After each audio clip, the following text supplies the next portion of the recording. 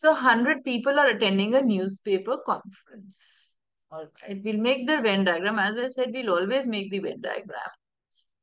45 of them are writers. So here we have 45 and they are writers and more than 38 are editors. All right. So we don't know how many are editors. We just know that there are more than 38. So I would say 39 or more, right? Editors. Of the people at the conference, X are both writers and editors and 2X are neither. So what is the largest possible number of people who are both writers and editors? So look, now we can't place the circles where we feel like, right? Why? Because there are constraints on both and neither as well. So then this is what it looks like. I have an X over here. This is my editor circle. I don't know the exact value of this, but I know that 2X is outside. That is my neither, right? All I know is that all of them add up to give me 100. So let me put this down. I'll say uh, 100 is equal to what? 45 plus 45 is my writer's circle, right? Plus this circle, my editor circle, I don't know what exactly it is. Okay, I'll just put a question mark. Then minus both. This is my standard sets formula, right? Total is equal to A plus B minus both plus neither. We know how it goes and why we, you know, we have that, right? and plus neither. So plus that is 2x. Now note that right now we have not worried about, you know, overlap maximum, minimum, nothing. We have not thought this is the standard formula that we have used. That's all, uh, that's all as per the given data.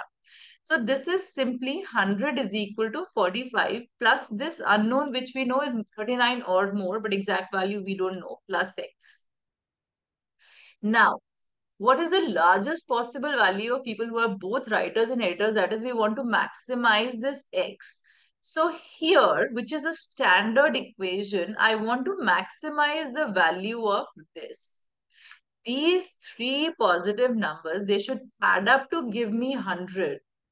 And I want to maximize this, which means that the other two numbers should be as small as possible so that this one can be maximum now this is 45. It's already defined. I can't do anything about it.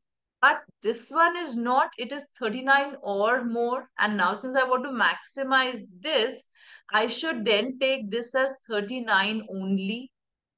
The minimum value that it can take. Makes sense? Right?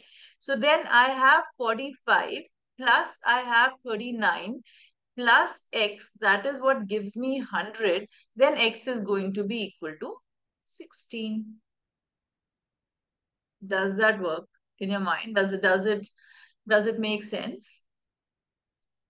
Right? When I have to add two numbers, A plus B plus C, and I have to have a fixed sum, let's say 100, then if I want to maximize one of these numbers, I'm saying they are both positive, all of them are positive integers. When I want to maximize this number, I should make these two as small as possible one of them is already defined as 45, then I should make this as small as possible. And since this one is more than 38, so it will be at least 39.